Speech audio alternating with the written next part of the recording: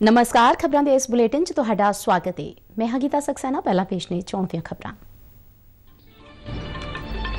ਰਾਸ਼ਟਰਪਤੀ ਦ੍ਰੋਪਦੀ ਮੁਰਮੂ ਨੇ ਭਰੋਸਾ ਪ੍ਰਗਟਾਇਆ ਕਿ ਸ਼ੇਖ ਹਸੀਨਾ ਦੀ ਯਾਤਰਾ ਨਾਲ ਭਾਰਤ ਅਤੇ ਬੰਗਲਾਦੇਸ਼ ਵਿਚਾਲੇ ਸੰਬੰਧ ਹੋਰ ਮਜ਼ਬੂਤ ਵਿਕਸਿਤ ਹੋਣਗੇ।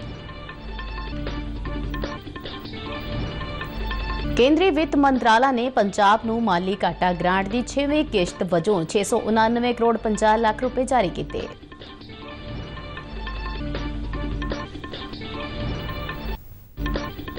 ਕੌਮਾਂਤਰੀ ਸਰਹੱਦ ਤੇ ਸਾਂਝੀ ਪੈਟਰੋਲਿੰਗ ਅਤੇ ਨਸ਼ੀਲੀਆਂ ਵਸਤਾਂ ਤੇ ਹਥਿਆਰਾਂ ਦੀ ਤਸਕਰੀ ਰੋਕਣ ਬਾਰੇ ਪੰਜਾਬ ਪੁਲਿਸ ਅਤੇ ਬੀਐਸਐਫ ਦੇ ਅਧਿਕਾਰੀਆਂ ਨੇ ਕੀਤੀ ਮੀਟਿੰਗ।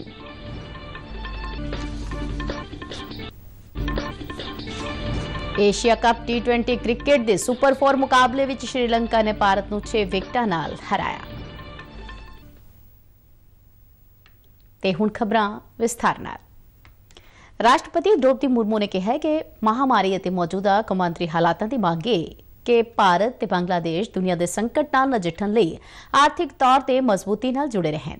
ਰਾਸ਼ਟਰਪਤੀ ਭਵਨ ਵਿੱਚ ਬੰਗਲਾਦੇਸ਼ ਦੀ ਪ੍ਰਧਾਨ ਮੰਤਰੀ ਸ਼ੇਖ ਹਸੀਨਾ ਨਾਲ ਕੱਲ ਇੱਕ ਮੀਟਿੰਗ ਦੌਰਾਨ ਉਹਨਾਂ ਇਹ ਗੱਲ ਆਖੀ। ਰਾਸ਼ਟਰਪਤੀ ਨੇ ਭਰੋਸਾ ਪ੍ਰਗਟਾਇਆ ਕਿ ਸ਼ੇਖ ਹਸੀਨਾ ਦੀ ਭਾਰਤ ਯਾਤਰਾ ਨਾਲ ਦੋਹਾਂ ਮੁਲਕਾਂ ਵਿਚਾਲੇ ਸੰਬੰਧ ਹੋਰ ਮਜ਼ਬੂਤ ਅਤੇ ਵਿਕਸਿਤ ਹੋਣਗੇ। ਦ੍ਰੋਪਦੀ ਮੁਰਮੂ ਨੇ ਕਿਹਾ ਕਿ ਸਾਡੇ ਸੰਬੰਧ ਹਮੇਸ਼ਾ ਸਹਿਯੋਗ ਅਤੇ ਆਪਸੀ ਭਰੋਸੇ ਦੀ ਭਾਵਨਾ ਨਾਲ ਜੁੜੇ ਰਹੇ ਨੇ।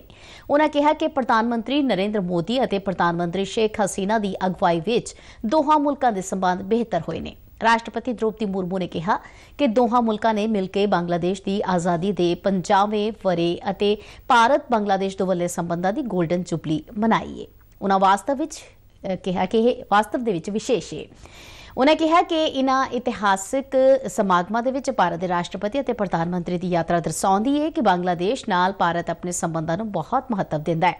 ਉਹਨਾਂ ਖੁਸ਼ੀ ਪ੍ਰਗਟਾਈ ਕਿ ਬੰਗਲਾਦੇਸ਼ ਨੇ ਆਪਣੇ ਲੋਕਾਂ ਦੀ ਸਮਾਜਿਕ ਅਤੇ ਆਰਥਿਕ ਖੁਸ਼ਹਾਲੀ ਵਿੱਚ ਵੱਡੀ ਕਾਮਯਾਬੀ ਹਾਸਲ ਕੀਤੀ ਹੈ ਰਾਸ਼ਟਰਪਤੀ ਦ੍ਰੋਪਦੀ ਮੁਰਮੂ ਨੇ ਭਰੋਸਾ ਦਿੱਤਾ ਕਿ ਬੰਗਲਾਦੇਸ਼ ਦੀ ਵਿਕਾਸ ਯਾਤਰਾ ਵਿੱਚ ਭਾਰਤ ਇੱਕ ਭਰੋਸੇਯੋਗ ਹਿੱਸੇਦਾਰ ਬਣਿਆ ਰਹੇਗਾ। ਕੇਂਦਰ ਸਰਕਾਰ ਨੇ ਕੌਮੀ ਸਹਿਕਾਰੀ ਨੀਤੀ ਦਾ ਖਰੜਾ ਤਿਆਰ ਕਰਨ ਲਈ ਰਾਸ਼ਟਰੀ ਪੱਧਰ ਦੀ ਕਮੇਟੀ ਕਾਇਮ ਕਰਨ ਦਾ ਐਲਾਨ ਕੀਤਾ ਹੈ। ਇਸ ਕਮੇਟੀ ਦੀ ਪ੍ਰਧਾਨਗੀ ਸਾਬਕਾ ਕੇਂਦਰੀ ਮੰਤਰੀ ਸੁਰੇਸ਼ ਪ੍ਰਭੂ ਕਰਨਗੇ। ਇਸ ਕਮੇਟੀ ਵਿੱਚ ਦੇਸ਼ ਭਰ ਤੋਂ 47 ਮੈਂਬਰ ਲਏ ਗਏ ਨੇ, ਜਿਨ੍ਹਾਂ ਵਿੱਚ ਸਹਿਕਾਰੀ ਖੇਤਰ ਦੇ ਮਾਹਿਰ, ਕੌਮੀ ਤੇ ਸੂਬਾ ਅਤੇ ਜ਼ਿਲ੍ਹਾ ਸਹਿਕਾਰੀ ਸੰਸਥਾਵਾਂ ਦੇ ਨੁਮਾਇੰਦੇ, ਸਹਿਕਾਰੀ ਸਕੱਤਰ ਅਤੇ ਸੂਬਿਆਂ ਤੇ ਕੇਂਦਰ ਸ਼ਾਸਿਤ ਪ੍ਰਦੇਸ਼ ਦੀਆਂ ਸਹਿਕਾਰੀ ਸੰਸਥਾਵਾਂ ਦੇ ਰਜਿਸਟਰਾਰ ਸ਼ਾਮਲ ਨੇ। ਨਵੀਂ ਨੀਤੀ ਪ੍ਰਧਾਨ ਮੰਤਰੀ ਨਰਿੰਦਰ ਮੋਦੀ ਦੀ ਅਗਵਾਈ ਵਿੱਚ ਸਹਿਕਾਰਤਾ ਸੇ ਸਮਰਿੱਧੀ ਦੇ ਸੁਪਨੇ ਨੂੰ ਪੂਰਾ ਕਰਨ ਲਈ ਬਣਾਈ ਗਈ ਹੈ ਹਾਲ ਹੀ ਵਿੱਚ ਕੇਂਦਰੀ ਗ੍ਰਹਿ ਤੇ ਸਹਿਕਾਰਤਾ ਮੰਤਰੀ ਅਮਿਤ ਸ਼ਾਹ ਨੇ ਜਲਦੀ ਹੀ ਕੌਮੀ ਸਹਿਕਾਰੀ ਨੀਤੀ ਬਣਾਉਣ ਦਾ ਐਲਾਨ ਕੀਤਾ ਸੀ। ਇਸ ਵਿੱਚ ਮੁੱਢਲੀ ਖੇਤੀਬਾੜੀ ਕਰਜ਼ਾ ਸੁਸਾਇਟੀ ਦਾ ਵਿਆਪਕ ਦ੍ਰਿਸ਼ਟੀਕੋਣ ਸ਼ਾਮਲ ਹੈ ਸੁਪਰੀਮ ਕੋਰਟ ਨੇ ਪੰਜਾਬ ਤੇ ਹਰਿਆਣਾ ਦਰਮਿਆਨ ਸਤਲੁਜ ਯਮੁਨਾ ਲਿੰਕ ਨਹਿਰ ਬਾਰੇ ਵਿਵਾਦ ਨੂੰ ਛੇਤੀ ਹੱਲ ਕਰਨ ਦੇ ਨਿਰਦੇਸ਼ ਦਿੱਤੇ ਨੇ। ਸੁਪਰੀਮ ਕੋਰਟ ਨੇ ਕੱਲ ਹੋਈ ਸੁਣਵਾਈ ਦੌਰਾਨ ਕੇਂਦਰ ਸਰਕਾਰ ਨੂੰ ਪੰਜਾਬ ਤੇ ਹਰਿਆਣਾ ਦੇ ਮੁੱਖ ਮੰਤਰੀਆਂ ਨਾਲ ਬੈਠਕ ਕਰਕੇ ਸਮੱਸਿਆ ਦਾ ਹੱਲ ਲੱਭਣ ਦੇ ਨਿਰਦੇਸ਼ ਦਿੱਤੇ ਨੇ। ਉਧਰ ਕੇਂਦਰ ਨੇ ਸੁਪਰੀਮ ਕੋਰਟ ਨੂੰ ਦੱਸਿਆ ਕਿ ਪੰਜਾਬ ਸਰਕਾਰ ਇਸ ਮਾਮਲੇ ਵਿੱਚ ਸਹਿਯੋਗ ਨਹੀਂ ਕਰ ਰਹੀ। ਸੁਪਰੀਮ ਕੋਰਟ ਮਾਮਲੇ ਦੀ ਅਗਲੀ ਸੁਣਵਾਈ ਹੁਣ ਅਗਲੇ ਸਾਲ 19 ਜਨਵਰੀ ਨੂੰ ਕਰੇਗਾ। ਕੇਂਦਰੀ ਵਿੱਤ ਮੰਤਰਾਲਾ ਤਹਿਤ ਖਰਚਾ ਵਿਭਾਗ ਨੇ 14 ਸੂਬਿਆਂ ਨੂੰ 7183.42 ਕਰੋੜ ਰੁਪਏ ਦੀ ਮਾਲੀ ਘਾਟਾ ਗ੍ਰਾਂਟ ਜਾਰੀ ਕੀਤੀ ਹੈ ਇਹ ਗ੍ਰਾਂਟ 15ਵੇਂ ਵਿੱਤ ਕਮਿਸ਼ਨ ਦੀਆਂ ਸਿਫਾਰਸ਼ਾਂ ਮੁਤਾਬਕ ਜਾਰੀ ਕੀਤੀ ਗਈ ਹੈ ਇਸ ਵਿੱਚ ਪੰਜਾਬ ਨੂੰ 6ਵੇਂ ਕਿਸ਼ਤ ਵਜੋਂ 699 ਕਰੋੜ 50 ਲੱਖ ਰੁਪਏ ਦੀ ਰਕਮ ਮਿਲੀ ਹੈ ਇਸ ਤਰ੍ਹਾਂ ਸਾਲ 2022-23 ਲਈ ਪੰਜਾਬ ਨੂੰ ਹੁਣ ਤੱਕ 4137 ਕਰੋੜ ਰੁਪਏ ਦੀ ਰਕਮ ਦਿੱਤੀ ਜਾ ਚੁੱਕੀ ਹੈ ਪੰਜਾਬ ਦੇ ਮੁੱਖ ਮੰਤਰੀ ਭਗਵੰਤ ਮਾਨ ਨੇ ਮਾਰਕਫੈਡ ਅਦਾਰੇ ਨੂੰ ਕਿਹਾ ਕਿ ਉਹ ਲੋਕਾਂ ਨੂੰ ਕਿਫਾਇਤੀ ਤਰ੍ਹਾਂ ਤੇ ਵਿਸ਼ਵ ਪੱਧਰੀ ਉਤਪਾਦ ਮੁਹੱਈਆ ਕਰਾਉਣ। ਮੁੱਖ ਮੰਤਰੀ ਨੇ ਕਿਸਾਨਾਂ ਨੂੰ ਆਪਣੀ ਆਮਦਨ ਵਧਾਉਣ ਲਈ ਬਾਗਬਾਨੀ, ਮਧੂਮੱਖੀ ਪਾਲਣ ਅਤੇ ਹੋਰ ਖੇਤੀਬਾੜੀ ਸਹਾਇਕ ਧੰਦਿਆਂ ਨੂੰ ਅਪਣਾਉਣ ਦੀ ਅਪੀਲ ਕੀਤੀ ਹੈ। ਇਨਫੋਰਸਮੈਂਟ ਡਾਇਰੈਕਟੋਰੇਟ ਈਡੀ ਨੇ ਦਿੱਲੀ ਦੇ ਕਥਿਤ ਸ਼ਰਾਬ ਘੁਟਾਲੇ ਦੇ ਮਾਮਲੇ ਵਿੱਚ ਕੱਲ ਦਿਨ ਭਰ 30 ਤੋਂ ਵੱਧ ਥਾਵਾਂ ਤੇ ਛਾਪੇਮਾਰੀ ਕੀਤੀ। ਇਹ ਛਾਪੇ ਚੰਡੀਗੜ੍ਹ, ਦਿੱਲੀ, ਗੁਰੂਗ੍ਰਾਮ, ਲਖਨਊ, ਹੈਦਰਾਬਾਦ ਤੇ ਮੁੰਬਈ ਸਮੇਤ ਕਈ ਹੋਰਨਾਂ ਸ਼ਹਿਰਾਂ ਵਿੱਚ ਮਾਰੇ ਗਏ। ਈਡੀ ਦੀਆਂ ਟੀਮਾਂ ਨੇ ਵੱਖ-ਵੱਖ ਸ਼ਰਾਬ ਕਾਰੋਬਾਰੀਆਂ ਦੇ ਟਿਕਾਣਿਆਂ ਤੇ ਦਸਤਾਵੇਜ਼ਾਂ ਦੀ ਪੜਤਾਲ ਕੀਤੀ। ਪੰਜਾਬ ਵਿੱਚ ਈਡੀ ਨੇ ਸੂਬੇ ਦੇ ਆਬਕਾਰੀ ਬਾਰੇ ਜੁਆਇੰਟ ਕਮਿਸ਼ਨਰ ਨਰੇਸ਼ ਦੂਬੇ ਦੇ ਪੰਚਕੁਲਾ ਸਥਿਤ ਰਿਹਾਇਸ਼ ਤੇ ਕਈ ਘੰਟਿਆਂ ਤੱਕ ਛਾਨਬੀਨ ਕੀਤੀ। ਮਗਰੋਂ ਈਡੀ ਦੀ ਟੀਮ ਨੇ ਐਕਸਾਈਜ਼ ਤੇ ਟੈਕਸੇਸ਼ਨ ਕਮਿਸ਼ਨਰ ਵਰੁਣ ਰੂਜਮ ਦੀ ਚੰਡੀਗੜ੍ਹ ਸਥਿਤ ਰਿਹਾਇਸ਼ ਤੇ ਵੀ ਕਈ ਦਸਤਾਵੇਜ਼ਾਂ ਨੂੰ ਆਪਣੇ ਕਬਜ਼ੇ 'ਚ ਲੈ ਲਿਆ ਹੈ। ਦੱਸਿਆ ਜਾਂਦਾ ਹੈ ਕਿ ਦੋਵੇਂ ਅਧਿਕਾਰੀ ਪੰਜਾਬ ਦੀ ਆਬਕਾਰੀ ਨੀਤੀ ਬਣਾਉਣ ਵਿੱਚ ਸ਼ਾਮਲ ਸਨ, ਜਿਸ ਦਾ ਐਲਾਨ ਸਰਕਾਰ ਨੇ ਬੀਤੇ ਜੂਨ ਵਿੱਚ ਕੀਤਾ ਸੀ। ਦੇਸ਼ ਦੇ ਪਹਿਲੇ ਇੰਟਰਾਨੇਜ਼ਲ ਕੋਵਿਡ ਵੈਕਸੀਨ ਯਾਨੀ ਨੱਕ ਰਾਹੀਂ ਦਿੱਤੀ ਜਾਣ ਵਾਲੀ ਦਵਾਈ ਦੇ ਟੀਕੇ ਨੂੰ 18 ਸਾਲ ਤੋਂ ਵੱਧ ਉਮਰ ਵਰਗ ਲਈ ਐਮਰਜੈਂਸੀ ਦੀ ਹਾਲਤ ਵਿੱਚ ਸੀਮਤ ਵਰਤੋਂ ਲਈ ਮਨਜ਼ੂਰੀ ਮਿਲ ਗਈ ਹੈ। ਇਸ ਟੀਕੇ ਨੂੰ ਭਾਰਤ ਬਾਇਓਟੈਕ ਨੇ ਵਿਕਸਿਤ ਕੀਤਾ ਹੈ। ਸਿਹਤ ਤੇ ਪਰਿਵਾਰ ਭਲਾਈ ਮੰਤਰੀ ਡਾਕਟਰ ਮਨਸੁਖ ਮਾਂਡਵੀਆ ਨੇ ਇੱਕ ਟਵੀਟ ਵਿੱਚ ਇਸ ਨੂੰ ਕੋਵਿਡ ਦੇ ਖਿਲਾਫ ਭਾਰਤ ਦੀ ਲੜਾਈ ਵਿੱਚ ਇੱਕ ਵੱਡੀ ਉਪਲਬਧੀ ਦੱਸਿਆ ਹੈ। ਉਹਨੇ ਕਿਹਾ ਕਿ ਸੀਡੀਐਸਸੀਓ ਨੇ ਕੋਵਿਡ ਦੇ ਖਿਲਾਫ ਨੇਜ਼ਲ ਵੈਕਸੀਨ ਨੂੰ ਮਨਜ਼ੂਰੀ ਦੇ ਦਿੱਤੀ ਹੈ। ਭਾਰਤ ਨੇ ਵਿੱਤੀ ਖੇਤਰ ਦੀ ਦਿਸ਼ਾ ਵਿੱਚ ਇਸ ਸਾਲ ਅਗਸਤ ਮਹੀਨੇ ਵਿੱਚ ਡੀਮੇਟ ਖਾਤਿਆਂ ਦੀ ਗਿਣਤੀ ਵੱਧ ਕੇ ਪਹਿਲੀ ਵਾਰ 10 ਕਰੋੜ ਨੂੰ ਪਾਰ ਕਰਨ ਦਾ ਮੀਲ ਪੱਥਰ ਸਥਾਪਿਤ ਕੀਤਾ ਹੈ।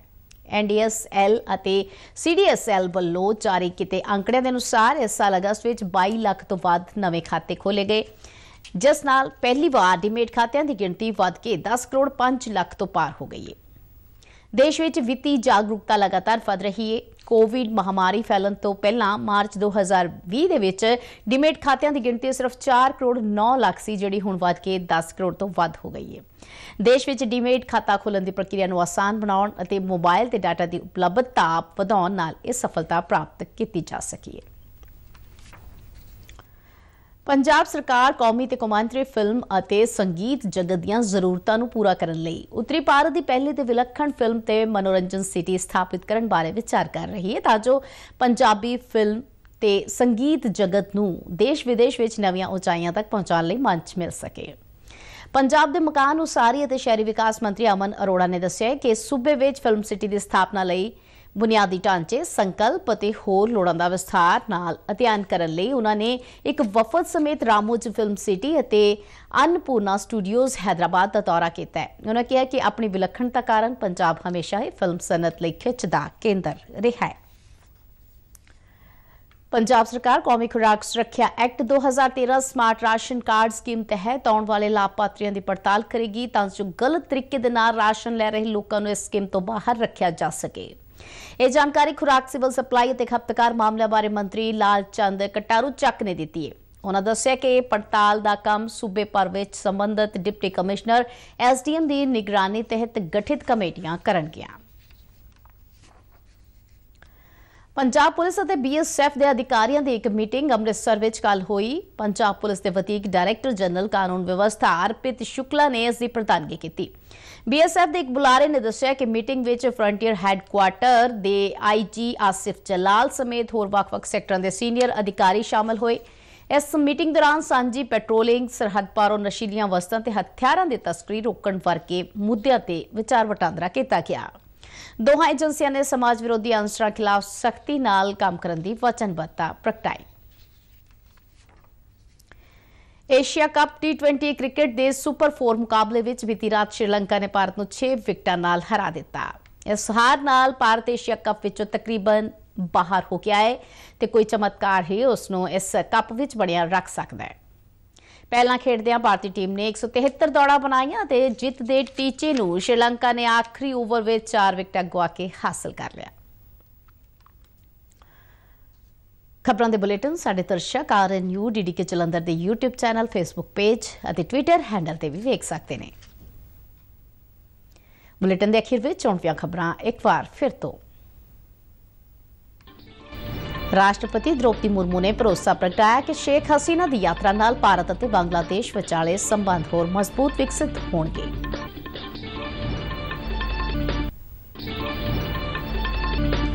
ਕੇਂਦਰੀ ਵਿੱਤ ਮੰਤਰਾਲਾ ਨੇ ਪੰਜਾਬ ਨੂੰ ਮਾਲੀ ਘਾਟਾ ਗ੍ਰਾਂਟ ਦੀ 6ਵੀਂ ਕਿਸ਼ਤ ਵਜੋਂ 699 ਕਰੋੜ 50 ਲੱਖ ਰੁਪਏ ਜਾਰੀ ਕੀਤੇ।